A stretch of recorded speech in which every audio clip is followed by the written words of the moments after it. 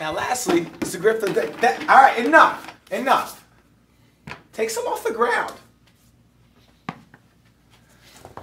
Now we'll talk about the deadlift grip. We're gonna wrap our thumbs around, we're gonna get a good grip on the bar, and we're gonna push our knuckles underneath the bar just a little bit to work the bar into our grip as we lock it in. We're gonna use this grip until the weight is simply too heavy to hold, and then we're gonna go to what's called a, what's the grip called? Over under? Over under grip. So one hand over the top, one hand underneath, same thing. We're gonna over rotate and work it into our grip, lock it in so it stays stiff in the hand. Boom. We never go with an under under grip. This is how you tear a bicep or do one of those.